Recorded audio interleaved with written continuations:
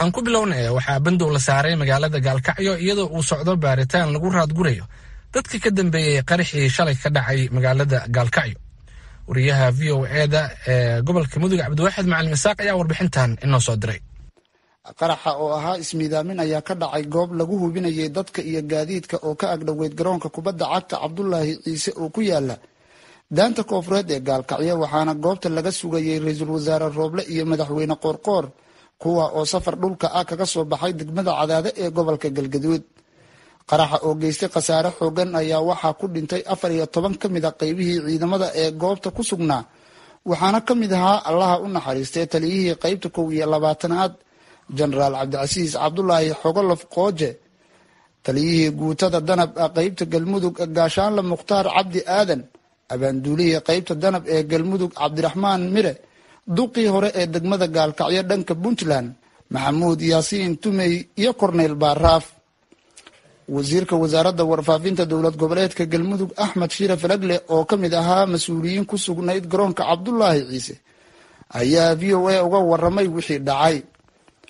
Waxaana shil weyn uu ka dhacay xaflad iyo qabanqaabo soo dhaweyn oo ra'iisul wasaaraha loo ay dadka reer galmudug iyo dadka reer puntland gaalkacyo degan ay si wada jira ay uga qeyb galayeen ila reeba garoonka cabdullaahi ciise lagu dhigo. Arrinkaasina intaan xafladdaas aysan madaxdu imaanin waa ra'iisul wasaaraha iyo madaxweynaha galmudug ayaa waxaa dhacday qarax weyn oo qof ismiidaamiyey oo isu qarxiyey saraakiishii labeenta u ahayd ama mas'uul ahayd dowladda federaalka ka jira galmudug ciidamada galmudug intaba waxaana halka ku dhintay dad aada door ugu ah ama iftiin u ahaa ama dugaal u ahaa ama awood u ahaa dowladda galmudug.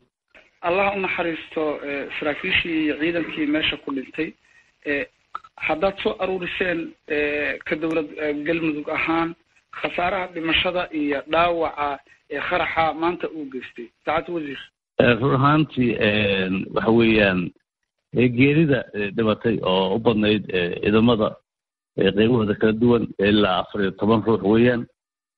Dhaawacuna dee waa waa number jira oo waxa weeye waa kala duwan siyaalo kala duwan meelo duwan loogu kala loogu kala daaweynayo. Laakiin dadka dhintay afar iyo toban ruux iyo xildhibaano intuba. Waxaa kaliyo naga maqanaa waxay ahayd wufuudda ra'iisul wasaaraha iyo madaxweynaha oo socod ka soo bilaabay cadaado saakaalnimadii oo meelo dhax ku hakaday sida kalesood iyo fatiiradii magaalada markay soo galanay wax aan laba boqol oo tallaabo a dhammaan noo soo jiraana arrinkaana dhacay. Marka farxad weyn oo murugo weyn bedeshay ayaa uu ahaa jawgu sanagala suldaan cabdinaasir jaamacseed oo ka mid a salaadiyiinta galmudug ayaa bulshada galmudug uga tacsiyadeeyay geerida saraakiishii iyo ciidankii ku dhintay qaraxii shalay gelinkii dambe ka dhacay gaalkacyo. Inaa lilahi waa inaa ilahi raajicuun. Waxaan aad iyo aad uga xumahay saraakiishii iyo madaxdii garabtay ku dhintay gaalkacyo oo dhagarqabanyaashu ay shaqoolka u maleegeen.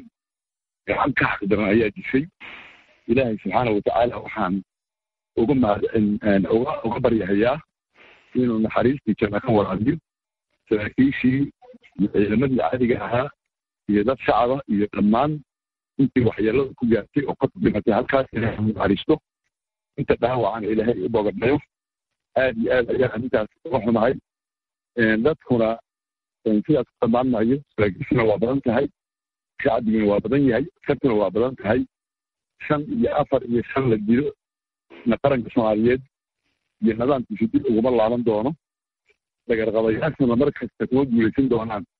Ilaah iidankii dalkan iyo taladiisa inkastoo goobta ay ku sugnaayeen qeybaha bulshada iyo mas'uuliyiin ka kala tirsanayd dowladda federaalka galmudug iyo puntland haddana waxaa madasha ka maqnaa ra'iisul wasaaraha soomaaliya maxamed xuseen rooble oo maalmo ka hor gaaray dhuusamareeb balse laga sugayay goobta al-shabaab ayaa sheegatay mas'uuliyadda qaraxii shalay ee ka dhacay daanta koofureed ee gaalkacyo waxayna sheegeen in ay ku dileen saraakiil fara badan. Cabdiwaaxid macalin isxaaq v o a gaalkacyo